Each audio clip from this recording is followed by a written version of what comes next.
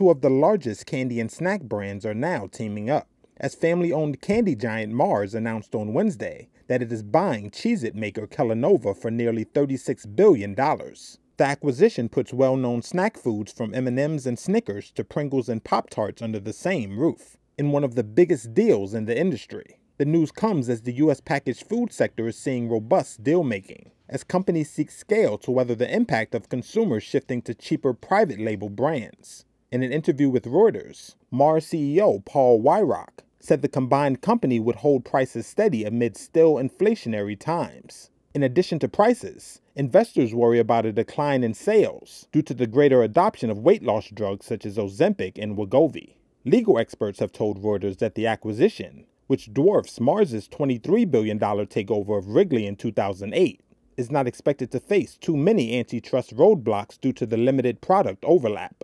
Shares of Kellanova rose more than 7.5% in Wednesday afternoon trading.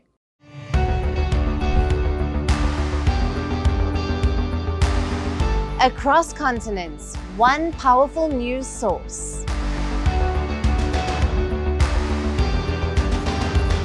Bringing you diverse perspectives on the issues that matter.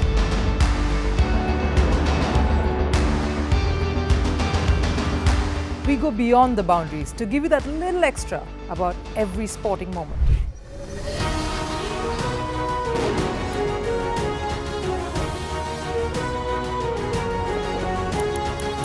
So thank you for making First Post 5 million strong. We're counting on your support and you can trust us to bring you the news unfiltered and unvarnished.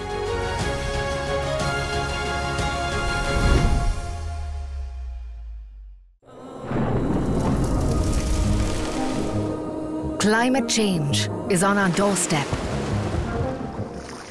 It's time for a revolution to take root. And it starts with 1.4 billion Indians. It starts with one tree. One tree for humanity. One tree for Mother Earth. One tree for our future. Project One Tree a News 18 network initiative. On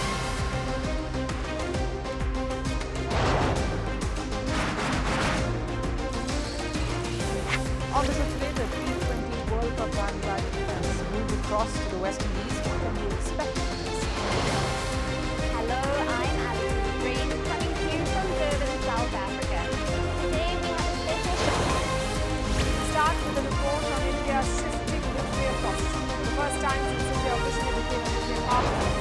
Hello and welcome to Firstpost America.